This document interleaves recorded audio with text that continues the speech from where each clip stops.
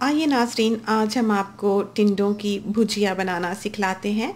इसके लिए हमने ये चंद एक अशिया ली हैं। हमारे पास फ्रेश टिंडे तो नहीं हैं तो हमने ये फ्रोज़न ही लिए हैं। तो हमने वन टीस्पून जो है, वो सॉल्ट लिया है। One teaspoon crushed chilies, one teaspoon cumin seeds, one teaspoon coriander powder और हाफ़ टी स्पून टर्मरिक ली है। वन मीडियम साइज़ टोमेटो लिया है वन मीडियम साइज़ अनियन लिया है और थोड़ा सा फ्रेश कोरिएंडर लिया है।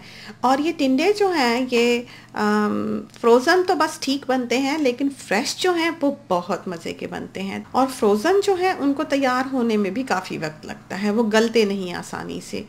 तो अब आप अपनी कुकिंग पॉट में जो है वो थोड़ा सा कुकिंग ऑयल डाल लें और इसके बाद आप जो अनियन था वन मीडियम साइज़ अनियन उसको स्लाइस कर लें और इसमें आपने ये टिंडे जो हैं, ये शामिल कर लेने हैं और सारे मसाला जात salt pepper chili turmeric powder coriander powder वगैरह जो था क्यूमिन सीड्स वो आप डाल लेंगे।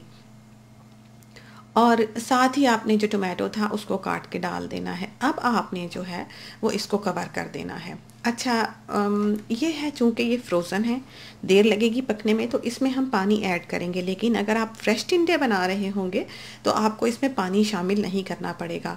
तो ये सारा कुछ ही आपने कच्चा डालकर इसको पका लेना है और इसको बंद कर देना है। और जब आप देखें कि इसका पानी निकल आया है तो आप इसको आग जो है उसको हीट जो है उसको लो करके मीडियम टू लो करके और उसको आप पकने दें थोड़ी देर के लिए। कुछ देर में जब आप देखें कि अगर टिंडे आपके नहीं गले और आ, ये जो है बिल्कुल खुश्क हो गया है पानी इसका तो आप इसमें हंसब ज़रूरत जो है वो पानी ऐड कर दें जैसे कि हमने वन कप पानी जो है वो इसमें ऐड किया है।